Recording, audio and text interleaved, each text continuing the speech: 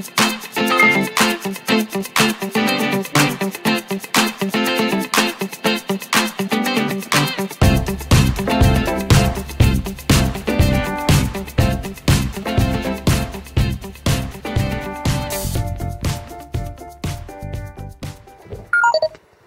y'all, Captain Irix guy here, and I wanted to uh, do a video review, actually a follow-up review and a live demonstration of this solar panel.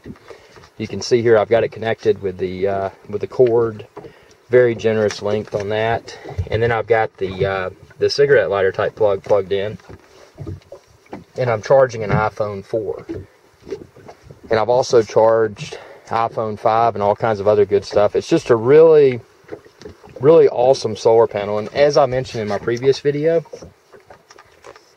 you've got these four holes. If you wanted to permanently or semi-permanently mount it, you could do that. Just a really versatile uh, solar panel.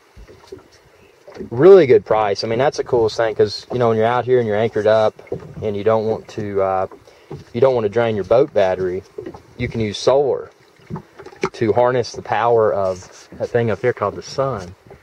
And it's completely free. At least it is today. Subject to change, of course.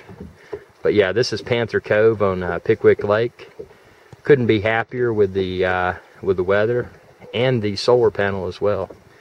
Because while we're having a good time relaxing, that solar panel is giving us uh, extra life to our cell phones and GoPro batteries and any sort of uh, small electronic device. And something else I wanted to mention is that if you don't want to use it to charge your devices, there's there's these other cables that come with it.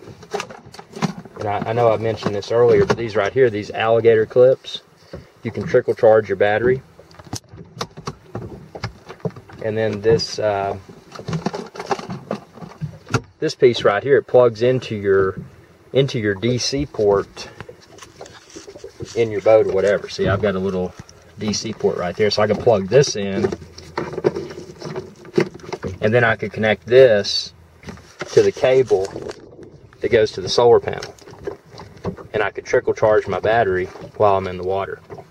So the possibilities are somewhat limitless. I mean, it's just a really cool 5 watt, very, very, very well made and very affordable solar panel. So you can find a link within this video's description to where you can order it online as well as find more information.